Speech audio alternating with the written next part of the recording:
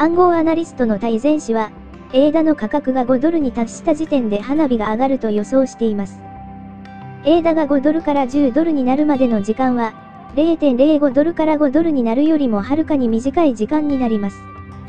また、10ドルから20ドルになるまでの時間は、5ドルから10ドルになるよりもさらに短くなります。なぜでしょ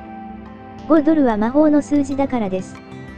一旦エーダが5ドルを突破すると、人々は魔法のようにフォー申し始めるのです。さらに、技術的に優れたカルダのプラットフォームは、情熱的で急成長しているコミュニティのおかげで、エコシステムの規模と時価総額の両方で、いずれイーサリアムを追い越すと述べました。ETH は初期の問題を認識したのは後になってからで、現在はその解決に取り組んでいるところです。カルダノのようなスマートコントラクトプラットフォームに大きく遅れをとっています。また、ETH はコミュニティでは先行していますが、技術的には劣っています。ADA と XTZ のコミュニティはどちらも急速に成長しているので、気長に待ちましょ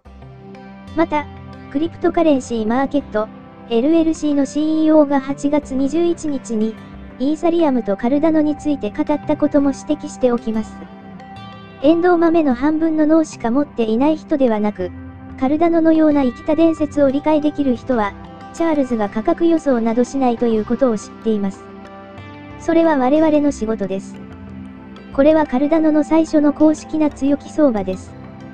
カルダノは、イーサリアムの2017年のピーク時の時価総額と最低でも一致すると予測しています。次の強気相場を予測します。カルダノの時価総額は、イーサリアムや他のスマートコントラクトプラットフォームを超えると予測しています。イーサリアムの時価総額がカルダノを上回っている唯一の理由は、市場に出回っている期間が長いからです。コインの成功はコミュニティに基づいており、カルダノは大きなコミュニティを持っています。最後までご視聴くださり、誠にありがとうございます。当チャンネルでは、仮想通貨に関するニュースをお届けしております。よろしければ、チャンネル登録、高評価をお願いいたします。